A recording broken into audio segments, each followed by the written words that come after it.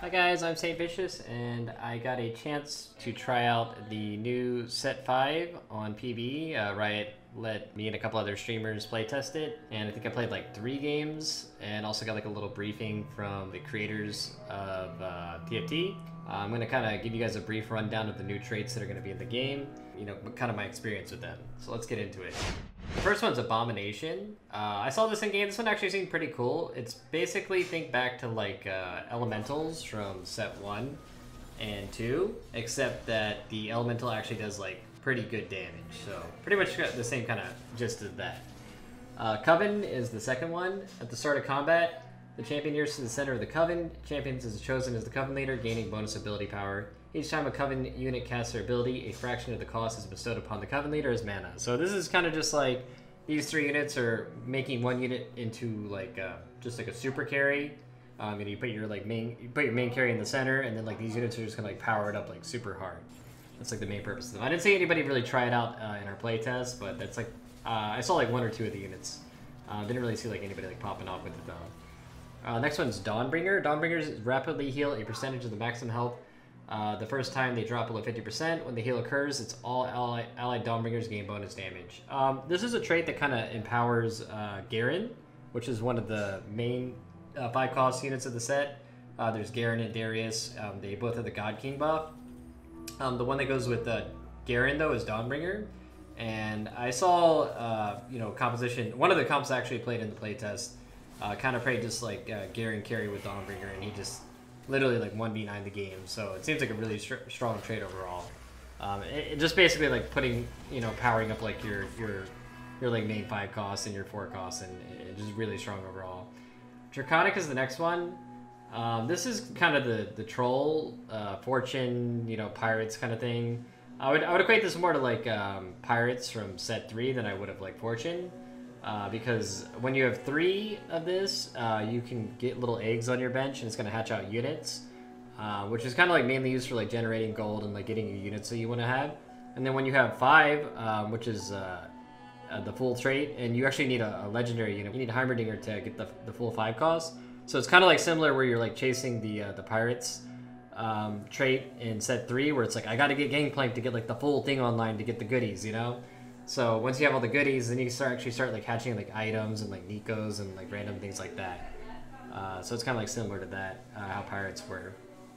Um, Dragon Slayer is the next one. Dragon Slayers gain bonus ability power. After the first allied Dragon Slayer scores a takedown on an enemy with at least 1400 max health, each combat all allies gain additional power to the ranger of combat.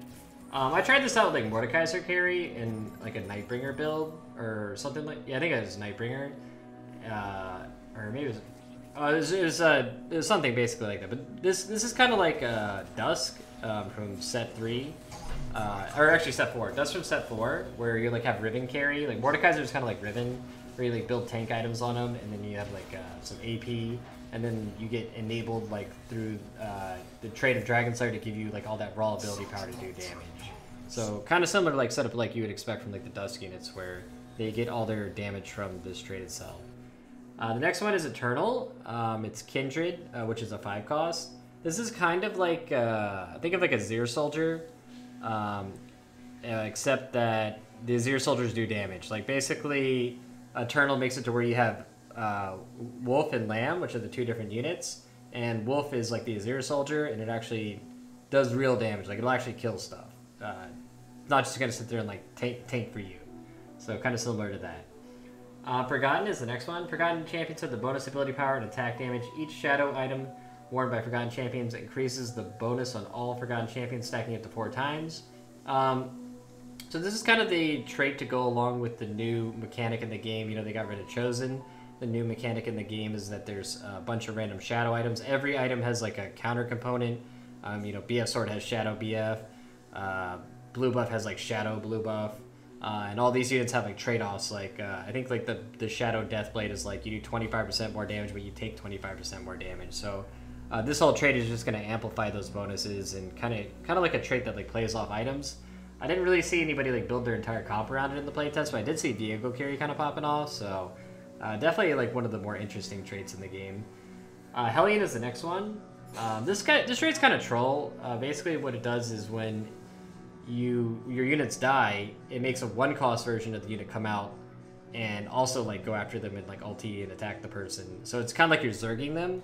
I, at first I thought this trait was kind of like not that good, and then I saw somebody play Teemo carry uh, in this build, and it just like actually 1v9 while the units were zerging. So it, se it seemed pretty strong overall.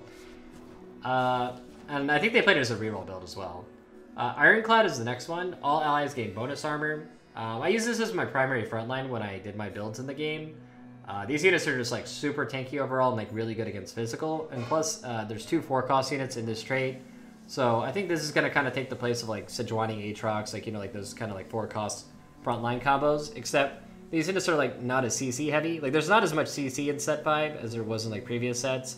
I feel like a lot of the traits are like more like buffing and shielding and like enabling like your other units um, instead of like just perma CCing the enemy. Uh, so it's a, a, lot more of that kind of stuff. Uh, the next one is Nightbringer. Nightbringer gains a decaying shield equal to the percent of their maximum health. The first time they drop below 50%, when the shield is applied, that Nightbringer gains bonus damage. So I played this build with Darius carry, uh, and he just kind of like 1v9. Uh, this is the whole trait, you know, to be built around like powering up your Darius and like making him pop off. Uh, and this is kind of like your bursty, kind of sustained, like caster kind of build. Uh, the next one is Redeemed. Redeemed have increased armor, magic resist, and ability power. When they die, they split this bonus among living Redeemed. Uh, this is kind of like Dark Star from set 3, kind of, sort of similar like that. And the main primary unit, unit carry unit of this is Kayle. And Kayle, basically, the way she operates is the the longer the fight is, and like the more autos she gets off, uh, she has like this ramping like thing to where eventually she starts just raining like beams down onto the ground and just like kills the entire board. So the whole uh, point of this build is to just like stay alive as long as possible and like let Kayle get to that point where she's just like literally one-shotting the entire board, which is just turns she just turns ridiculous, like one v nine carry. Uh, Revenant Revenant survive after their first step each combat. Once survived, they take and deal 30% uh, increased damage. I didn't see anyone try this out in the playtest, um, so I didn't really have any experience with this, but it's definitely an interesting trait. Uh, as Volibear is like the primary carry from it, could definitely be pretty cool. Uh, Verdant, uh, I didn't really see many people use this trait that much. This is actually probably the, the trait that I dislike the most out of the playtest. It seems like the least flavorful. Uh, champions that start combat adjacent to at least one Verdant champion are immune to crowd control for the first few seconds of combat. Uh, so I guess like I don't know. I mean, I guess you can use this as a way of like a mini QSS to like help people out if you think they're gonna be CC'd or something or something. I don't know. I'm sure there's like some some kind of like hidden gem like thing you can do with this that I don't really know about. Uh, Assassin assassins are pretty much how they've been in like all the previous sets where they just jump across and they start stabbing stuff and they crit critical strike damage. Uh, I saw Kiyoon play like a reroll Nocturne build with this. It kind of popped off, but then it kind of like fell off later. I'm sure there's like gonna be some weird uh, assassin build that you can like make. Uh, there's a five cost assassin in this, so I'm pretty sure you like build around the Viego carry uh, for the late game, um, and that's gonna be like pretty strong. Uh, brawlers, brawlers gain additional maximum health. Uh, just a you know a four trait. Uh, there's only five brawlers in the game. There is one five cost, but everything else is like three costs and below. I feel like brawlers are something you play like uh, early game and then you kind of like maybe transition out of, or you only play like the two brawler with like the Volibear, and then like uh, I can't remember what this other bra- this three cost brawler was. Um, yeah, brawlers seemed kind of weird to me, uh, at least in the playtest. They didn't really seem like like a powerhouse like they were in like the other sets. Uh, Caretaker. Caretaker deploys with the Baby Dragon that can be placed anywhere on the battlefield. Baby Dragons gain 100% of their handler's attack speed and restore 50 mana to their Caretaker upon death.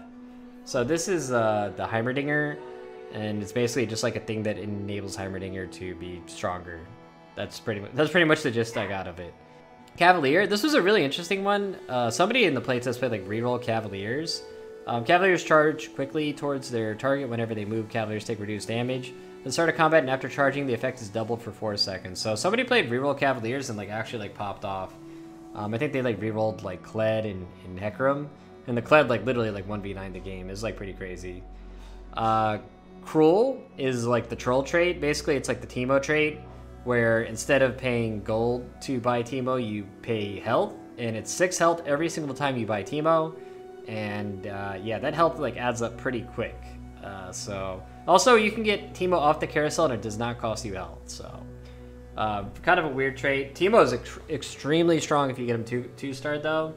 Uh, so uh, definitely something to look out for. Kind of like the meme trait of the, one of the meme traits of the the next set. Um, definitely going to be like seeing some funny stuff with that. Uh, God King, if you have exactly one God King, they deal 30% bonus damage to their rival traits. Uh, that's kind of the stuff we talked about. It's like the whole uh, good versus evil, which is the theme of uh, set 5.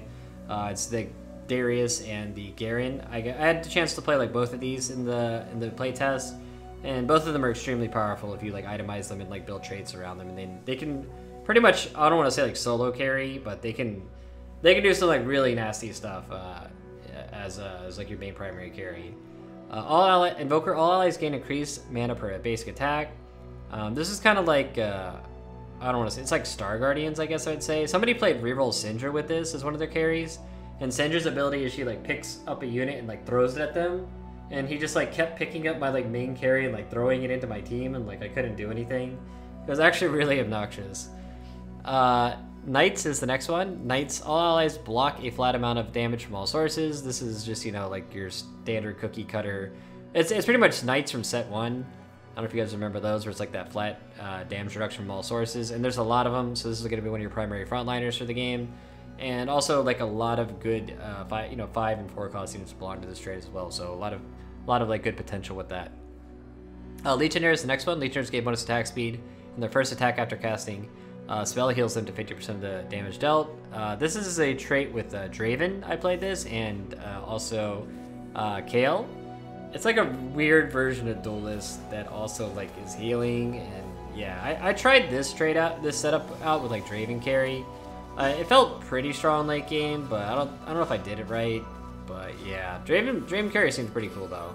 I mean, it's pretty much just like set one Draven. I don't know if you guys remember he's like catching the axes and killing everything. Uh, all allies, Mystic, all allies gain magic resist. I mean, it's exactly the same as it's been in previous sets. Uh, Ranger, after 4 seconds, Rangers gain attack speed for 4 seconds. They regain this bonus every 4 seconds thereafter. This is exactly like the trait um, from set 2 with uh, Twitch and, you know, Ashe carry and all those units. So pretty much expect the same thing here, where you're going to get that, like, ramping attack speed. Uh, Renewer. Renewers heal for percentage of their maximum health each second if they or full health, they restore maximum, or they restore mana instead. Somebody played this with reroll Soraka as their carry, and it was like basically like spell vamping every single time it ulted, and it was like the most obnoxious stuff. Like it was, it was actually just like killing like my whole team by itself. It was really obnoxious, uh, kind of like a siphoner type build. Uh, Skirmisher is the next one. Uh, Skirmishers gain a shield at the start of combat and gain attack damage each second. Uh, this is like I didn't really get to say I didn't see anybody really try this out, um, but definitely there's like a lot of units. It also has Viego carry. Like Viego has so many ways of like enabling himself. Uh, so I, I don't know. I wasn't really sure what to, to judge by this one. Uh, Spellweaver is the last one. I played this build with like Vel'Koz carry in my first playtest game and actually won the lobby. Uh, Spellweavers have increased ability powering and get bonus ability power anytime the champion an ability stacks to 10 times. So this is basically like a ramping like uh, mage, I want to say like mage buff or from last set. So kind of similar thing.